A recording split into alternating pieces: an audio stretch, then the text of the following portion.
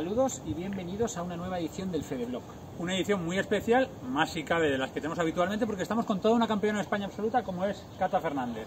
Eh, Cata, no es ni campeonato cadete ni nada, es el absoluto, campeona de España absoluto, ¿te lo terminas de creer? Eh, la verdad que, que, no, no me lo he llegado todavía a creer porque cuando llegué a Madrid pensaba que era un sueño o algo, no sé, la verdad que eh, me ha parecido increíble, es una, es una sensación que yo creo que voy a tener muy pocas veces en la vida y estoy súper contenta. Seguro que son muchas, que no se Sí, sí, ojalá. Bueno, Cata, cuéntanos, me imagino que los últimos hoyos y demás, muchísima presión, ¿no? Al ser un torneo tan importante.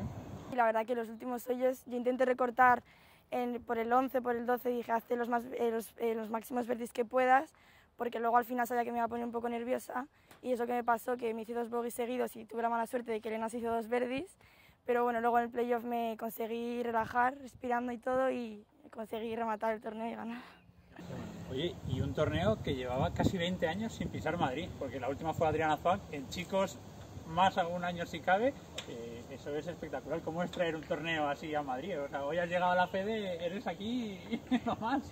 Me hace mucha ilusión, la verdad, porque me habéis apoyado siempre desde, desde que era muy pequeña y pues nada, yo estoy muy contenta de todo el apoyo que me habéis dado y me hace mucha ilusión que haya ganado para Madrid representando. Qué grande.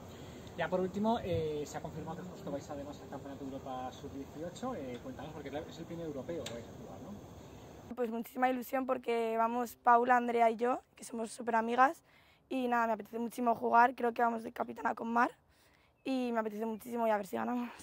Seguro, seguro. Una medalla que hay que traer. Por lo menos una medalla. Oye, y por cierto, antes de que se acabe, que a mí me hace especial ilusión porque es de mi cole. Que sepas que Eso eh, une, eso eso une. es importante, eso es importante. Así que, oye, enhorabuena, Cata, que sea el primero de muchos y que gracias por darnos tantas alegrías y que buen verano. Muchas gracias.